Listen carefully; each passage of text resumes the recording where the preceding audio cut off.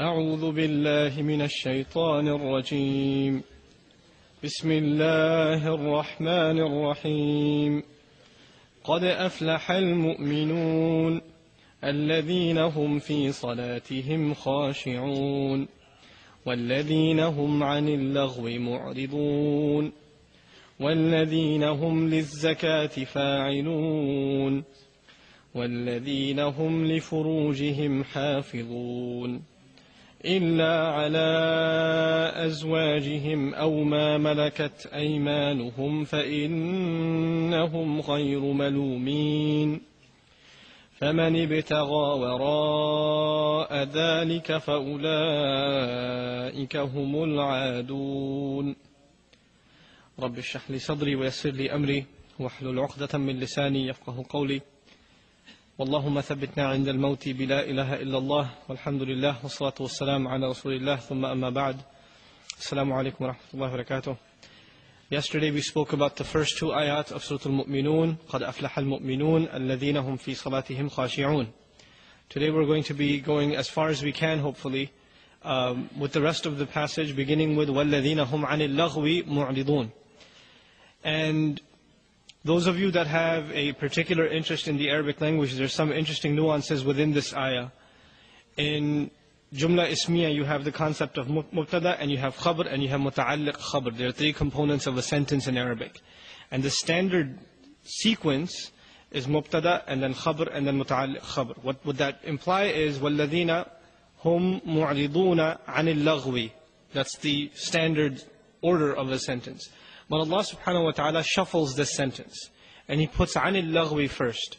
So the way it should be translated, because of this shuffle, I'm mentioning all of this because there's an impact on how we understand the meaning of the ayah. Typically it's translated those who refrain from vainful you know, activities in vain, or speech that is vain, that is useless. But it actually implies those who, especially in regards to al-laghu, which means useless activity or speech. We're going to talk about that a little bit more. Especially in regards to it, they ignore it.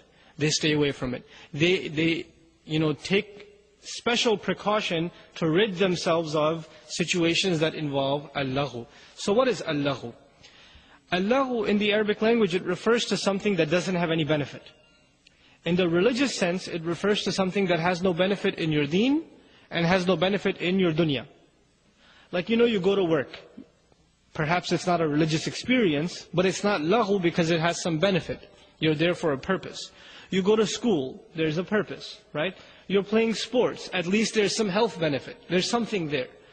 But when you engage in activities that have no benefit in your worldly life and have no benefit in the hereafter, first and foremost in forms of speech, and secondly in forms of any other activity, this would be under al-lahu. So the true believer is defined as someone who first of all focuses and is humble and overpowered in their salah. And second, that they have this characteristic of being almost allergic, you could say, to any situation of al Now, practically what that means is for you and me, a lot of times, we don't, we can't even, we don't even realize that we're engaging in such activity.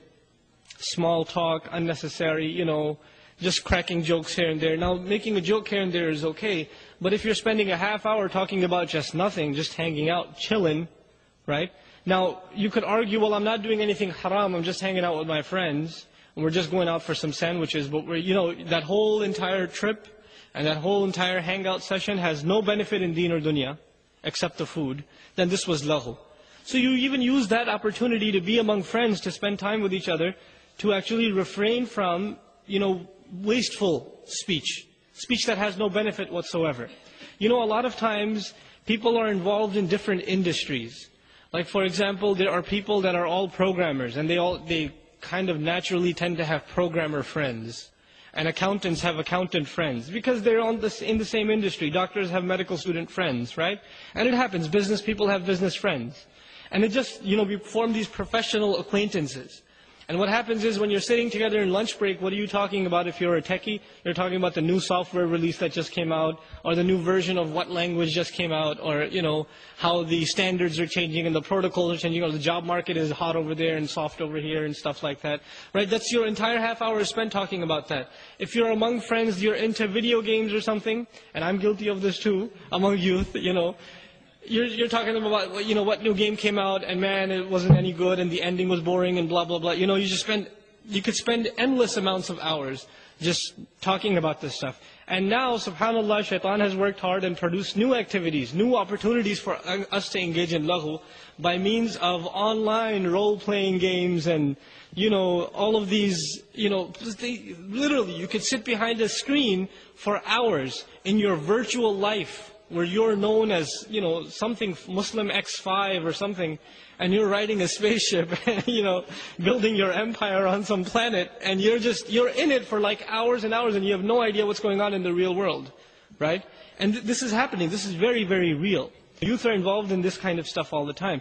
And now there's, you know, other opportunities for, for lahu, like Facebook or MySpace. My goodness, I got onto Facebook about a month ago in order to get in touch with some friends and to promote some Arabic classes and things like that online. I get on not two minutes after signing on, people I have no idea, men and women, I get emails, Fulan and Fulan wants to be your friend on Facebook. I don't want to be your friend on Facebook. I don't want to be your friend in life. Leave me alone.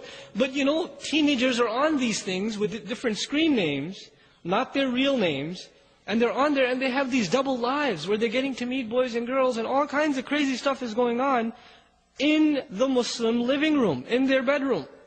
Because the computer is sitting there. So we've given them opportunities for al-laghu. We've given them such opportunities. So one has to really, if you want to practically tackle this issue, you know, we don't talk about the ayat of Qur'an in a vacuum when they say the believer stays away from al-laghu. We have to address what are the forms of al-laghu, the attacks of shaitan by which he indulges the believer in wasting their time in our times. What are his attacks? If we don't understand his attacks, we can't defend against them. So what are the attacks in our times? It's the, the profuse use of the internet. It's the addiction to YouTube. What's the top video today? Right? What came out? And then, you know, there's, there's this addiction to television, uh, of, of TV series. Oh my God, what's going to happen in the next episode? You know, and you can't wait and you're discussing it with your coworkers because it's the season finale or the season premiere or something. And it's ridiculous. I mean, this culture has been, it's been so exaggerated. You know, a few years, maybe 10 years ago, it was about sports playoffs and things like that, they used to be a big deal in media culture. Nowadays, you know, when I was way back, I mean, four or five years ago when I was in corporate, you know, people used to watch, I think it was Survivor. And my coworkers, all non-Muslims, that all, that's all they could talk about. Man, did you see Survivor last night? And one's like, man, no, I got stuck in traffic. I can't believe it. You know, did you record it for me? And this is their whole life. Is, you know, these shows and these entertainment forums, and they're just addicted to them. Their entire lives are spent around them. And then it's, it's incredible because there's such zombies. Muslims fall into this trap too. We become such zombies, then we end up buying their t-shirts and, you know, their paraphernalia and the action figures. And, you know, our kids want their video games. Uh, you know, Spider-Man came out, you want to get a Spider-Man video game and then Spider-Man action figure and a Spider-Man t-shirt. And, you know, it just keeps going and going and going, right? But it, this, this in, entire web of, of a trap that we've put our youth into. Where does it all begin though? What's the root of it? The root of it is a careless exposure to media. That's what the root of it is in our times.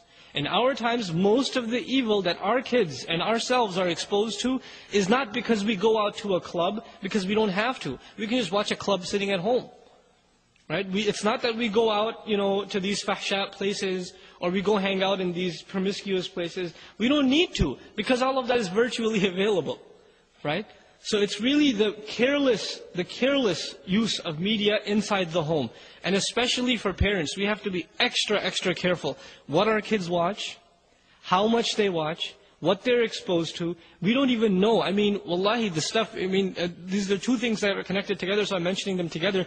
Allahu, the next two ayat also, وَالَّذِينَ هُمْ لِلزَّكَاةِ فَاعِلُونَ and وَالَّذِينَ هُمْ لِفُرُوجِهِمْ حَافِظُونَ These are all connected things. One leads to the other. Al-laghu is a waste of time. The believer knows time's running out. وَالْعَصْرِ إِنَّ الْإِنسَانَ لَفِي خُسْرٍ The most precious asset you and I have is our time. And so if we start wasting our time, that's a proof that something's wrong with our iman. We don't realize the value of this time. You know, if you were taking an exam the next day, there's a final exam for your last class before graduation, and if you miss this exam or you mess up on this exam, you're going to be set, you know, you're going to be delayed for another year or something and that the night before or hour an hour before you're sitting there watching, you know, movies or playing a video game, you'd have to be crazy. You must not care about your exam, right? Because there's a sense of urgency. You're not going to see a serious student do that. You're going to see them working hard. If you've got a new job and your boss gave you a deadline for a project and you're two, three hours away before submitting it, you're going to spend the entire night in the office because it's work, You've got to do it. It's important. There's a deadline. Similarly, Allah subhanahu wa ta'ala, He gave us certain things we have to do within a deadline. But the crazy thing is, Allah didn't tell you and me what my deadline is and what your deadline is. That deadline is death. But Allah kept it a secret subhanahu wa ta'ala. So we're constantly in a state of emergency. To acquire more and more good and to get away from more and more evil. Right? And this sense of urgency can be lost. And you can retain it by retaining a relationship with Qur'an. So this is, you know, if you don't have that sense of urgency, then you got time. You got time to kill, you can hang out and do whatever. And I'm not saying you have to shut down your life and be in depression all the time, worried about hellfire, because the believer had balance. Right? There's hope and there's fear. But at the same time, we've become way too lax. We're the extreme on the lax side. We're wasting way too much time in our lives, not paying attention to where it's going. So Then he says وَالَّذِينَ هُمْ لِلزَّكَاةِ فَاعِلُونَ And also the construction of this ayah, the way it's formulated, is beautiful. It covers two things at the same time. As-zakah you all know. Even if you don't know the rest of the ayah, you heard the word zakah, right? So you obviously got the sense, these are the people that take care of their zakah. But you know there's a fi'l that goes with zakah usually in the Quran, which is mu'tun or yu'tuna. وَالَّذِينَ هُمْ لِلزَّكَاةِ or az-zakati yu'tuna. You don't even need the lam there anymore. Okay? Because it serves as maf'ul bihi. Here Allah uses the harf jarr lam, lizzakati. And instead of saying mu'tun, He says fa'ilun. Which tells us two things. They're actively engaged in the purification of their wealth, which is one implication, because still zakah is the universal term. But also zakah in its generic sense. What does zakat mean? It means purification. So they are actively involved towards purification. They have a goal to purify themselves, and they're actively involved in it. And there's another nuance in this ayah that's very beautiful. You know the word, uh, the, the ism, or a noun simply speaking in English, a noun is stronger than a verb. You know, a verb is like, he did, right? And a noun is like the doer, right? Or he worked is a verb, and the worker is a noun. Which one is more permanent? A worker is always a worker, right? But if he worked, that's in the past tense, that's not necessarily a guarantee for the present tense, right? Allah Azza wa Jal, sometimes He uses the nominal form, the noun form, the ism form. Sometimes He uses the fi'l form. And when He uses the ism form, it denotes permanence. So what He's saying by using the word fa'ilun instead of yaf'alun, is that they're constantly engaged in attempts to purify themselves. And then also there's another nuance here, because there are two words for, for working, for doing things. To do action, there is, you know, amal, amilun, and there's fa'ilun, fi'l. There's amal and there's fi'l. Both of them are translated as action.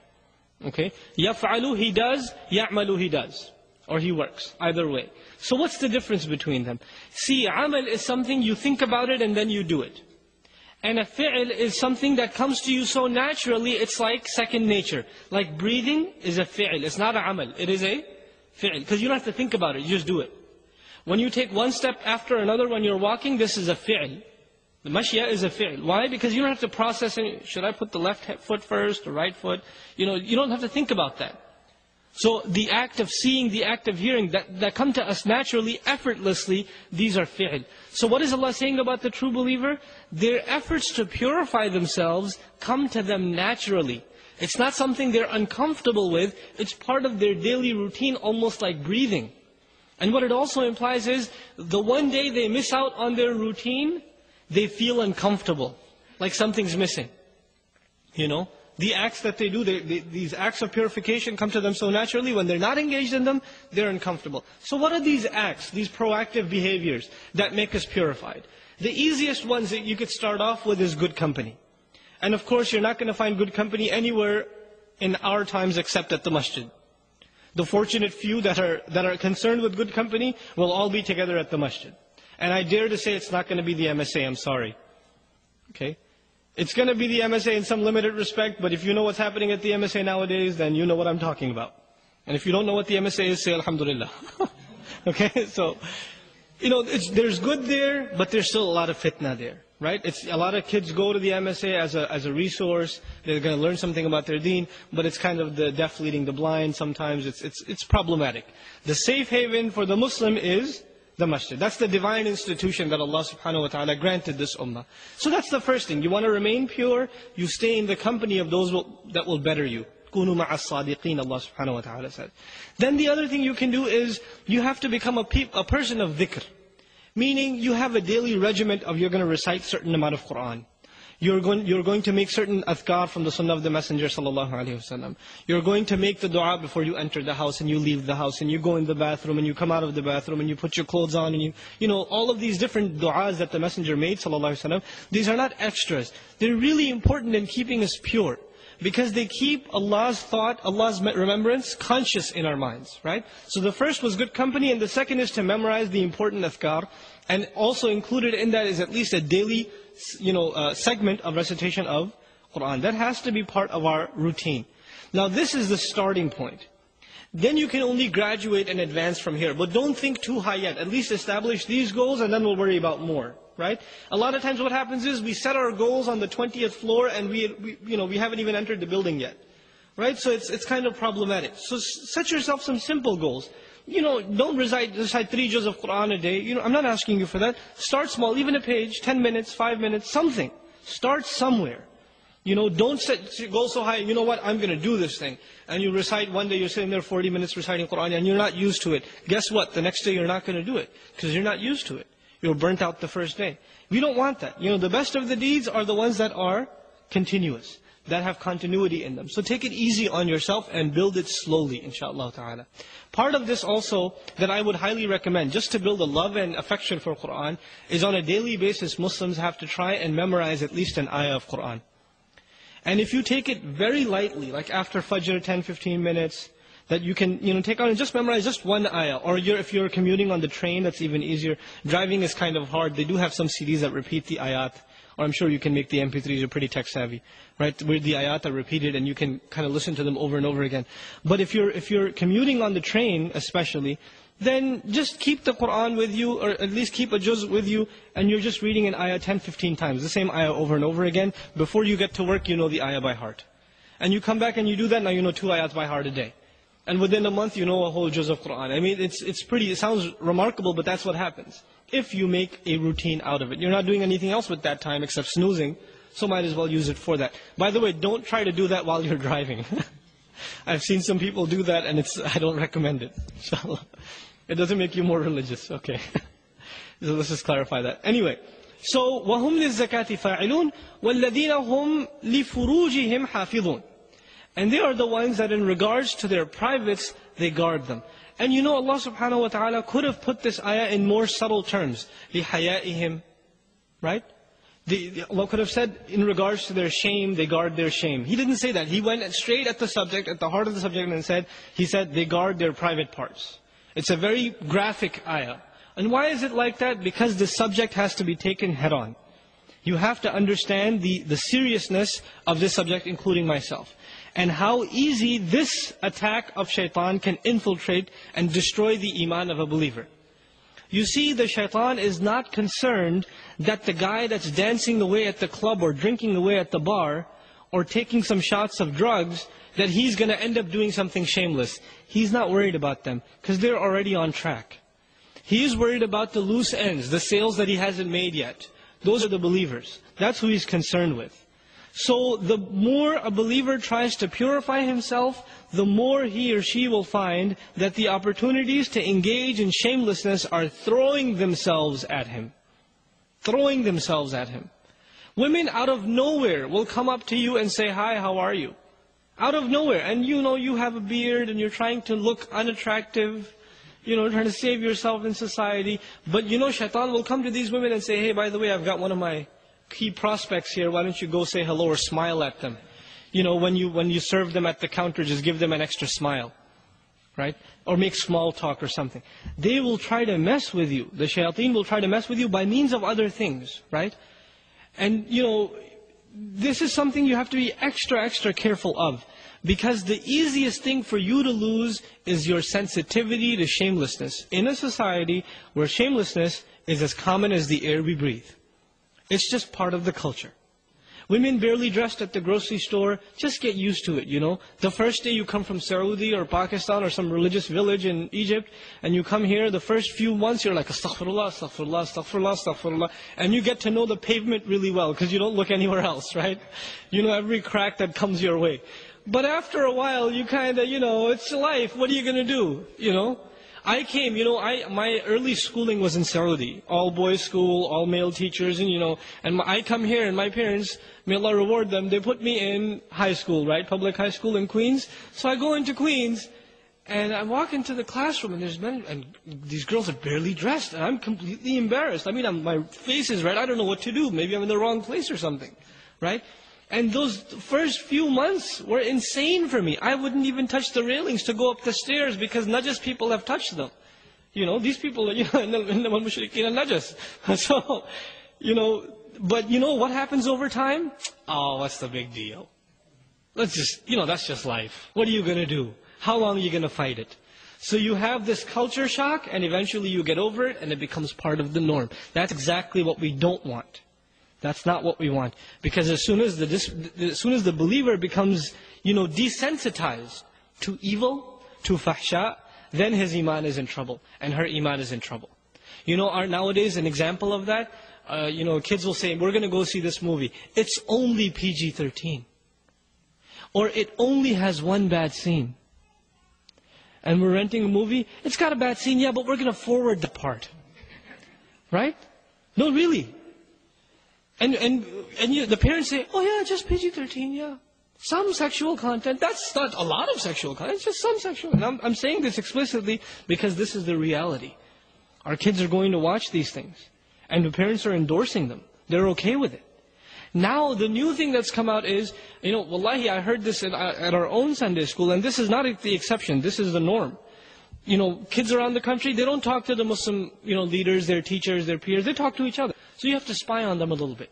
So I had this habit of spying on kids, you know. And so I'd be around the back and the kids are talking, my mom let me buy a game that's NC-17. Man, it's awesome. You guys, he's cursing and everything. And they're real, they're real proud of it too. Right? And they got it for Eid. SubhanAllah. they're celebrating the, you know, the obedience to Allah with fahsha and disobedience. So we have to, you know, this is serious, serious stuff. Once you are desensitized to what you see on the screen, then you have the, the only logical next step is you will not lower your eyes when you're walking down the street. And the logical next step is you're going to try to do what the people on the screen do. Right? And it's just one step after another. And it's just a downward spiral. So how do you counter this culture? How do you fight this thing? You fight this thing, first of all, by taking probably the most difficult step you will in your, in your adult life, is to cut TV off. It's a very difficult step. It's I, I, can, I can tell you if you're used to it, it's not easy. Right? But we as Muslim families, for the sake of our children and our own dignity as Muslims, we have to do it. We have to cut TV out. If you want the news, go to, go to the dot-coms. Right? And avoid the banner ads even there. But you know, there's ways of getting the news. There's still the radio, alhamdulillah, it's still in place, and it still tells you the news. Right? You can get in the, the excuses that I used to get a few years ago before, you know, the, the media on the web spread like the, like the way it did. It used to be, well, how are we going to get the news? If, you know, the, you know, we, we need to listen to CNN and Fox. Like, you don't need to listen to CNN and Fox. But even if that's your excuse, that excuse is dead now because better media outlets for the news and information are available online. Probably you get more reliable information online than you do on television, right? So, you know, get rid of those excuses and clean up your house. Don't get your children a portable video iPod. Don't get them a video iPod. Because you don't know what they can put on there. They can put stuff on there and hide it in folders you don't even know exist. They're very smart. They can name it directory like, you know, uh, root or system or, you know, they'll name it something creative. Ah, this is just, you know, information files. And it's in there. You have to understand, our kids are very, very smart. They're sharp. And they're on top of technology, the latest means. So you have to, you know, watch out for this. There's new statistics out about these video players that, you know, that children are bringing to schools and get, they're getting confiscated and they're being looked at and most of them have pornography in them with children, elementary school. So this is serious business. This is not a joke. And this is not the children of the kuffar alone. Don't think like that. Don't think that your children, oh, I come from a Muslim family. Our kids don't do those things. Please, let's everybody wake up. Okay? If the children of Yaqub alayhi salam can get to the point of being willing to kill their brother, who are children of a prophet, and grandchildren of a prophet, and great-grandchildren of a prophet. They are sons of Yaqub. Grandsons of who? Ishaq alayhi salam. Great-grandsons of who? Ibrahim alayhi salam. If they can't argue, Yaqub alayhi salam is not saying they come from a good family, they wouldn't do anything bad. Because he doesn't have that argument. Righteousness is not inherited in bloodlines. And if they're, if they can do something bad, none of our families are pure enough. Because they're three generations of prophets. Right? You can't say, oh, we're from this family or that family or our last name is this, and we brought the pure bloodlines here so our children are, are free of these temptations. They have these temptations. And we have to make sure that they fight them. And this is also, if it's not a concern for yourself, it will not trickle down to your children. You have to have that concern yourself. A lot of times I've seen the hypocrisy, the nifaq, inside the household. Parents are watching something, the kids come and say, hey, leave the room. This is not for you. This is not for little kids, it's for us to watch this stuff. You know? And the kids, they, they talk, you befriend them, they talk, yeah, my mom watches, and my dad watches these movies, you know, there's a lot of singing and dancing in it. But I just hear about it because they don't let me watch it. You know? But I know all the songs by heart. Because I've heard them so many times. And this is the hypocrisy inside the house of the Muslim. It's insane. So we have to understand this is serious stuff. And it will have very, very negative consequences later on. It's, it's bad enough for our deen, but it will ruin your dunya. And let me tell you some horror stories. I'm not going to name anybody specific or tell you any specific story, but it's happened to me more than a dozen times. That parents have come up to me when I've given a talk like this and said, can you talk to my teenage son? Can you talk to my daughter? She's got some problems. She's not listening to me anymore. And I think they've got, she's got some boy problems or some girl problems, right? And you know why that happened? Because now that they're teenagers and they're independent, it's too late. The ship has already sailed. When they were under your midst, you didn't care. You were putting the extra hours in at work so you can put the down payment in for the house. And the wife was also doing some work somewhere else so that baby, the cable TV was babysitting the child. And now that they have the power to act out what they've been watching all along, their sheikh on TV has been doing that all along, and now they're acting it out, now you're surprised. Don't be surprised. They're just doing taqleed of what they've, you know, the dars they've been getting every day. That's what it is. It's not, it's not a surprise. How could they do this to me? How could you do this to them? they didn't do this to you, you did this to them. You programmed, programmed them this way.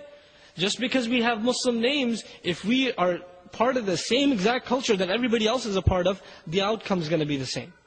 Right? We have to change the environment within the homes and how our children are taking in media. So this is, you know, very important thing, inshallah ta'ala, for all of us. وَالَّذِينَ هُمْ لِفُرُوجِهِمْ حَافِظُونَ Again, I want to leave this with a, a, few pieces of practical advice. Please do not put a computer in your child's room. If you want to put a computer, put it in the kitchen, put it in the living room. Don't face it against the wall, face it against the outside so anybody walks in can see what's going on on the screen, right? Do not, make sure, make sure you check the histories and make, have software that can recover the internet histories on your browsers so you can find out if your child has a Facebook account or a MySpace account and what their, you know, uh, username is because they will have other usernames and you don't even know your children are living double lives and they are. Believe me, there's a lot going on out there. You know, and you will find it and you'll be shocked. How can this be? But you have to you have to get involved in your children's life. And the final piece of advice, don't freak out. Because we come from a culture when our children disappoint us in the least bit, then we say, how could you do this to me? You're a disappointment. You know, we come from a culture where the child gets an 88 on the exam, and he's so proud of himself, and he comes to the father and says, Dad, I got an 88. Okay, next time get a 90. And you get a 90, uh, why didn't you get a 100? What's the matter with you? Right? There's always you could have done more. There's no appreciation of our children. Right? And so when something like this, you find out your boy was, you know, your, your, your son comes to you one day and says, you know, Dad, this girl asked me to go to the prom.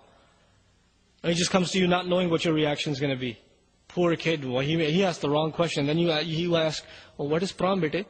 And then you, then you tell him, then the child tells him the, what the prom is, and my goodness, you know, it's like his, uh, you know, extra hair fell off the head, and he's screaming, we brought you to America for this, and you give him a beating, and you yell at him, and you tell the mother, and you know, all kinds of craziness inside the house.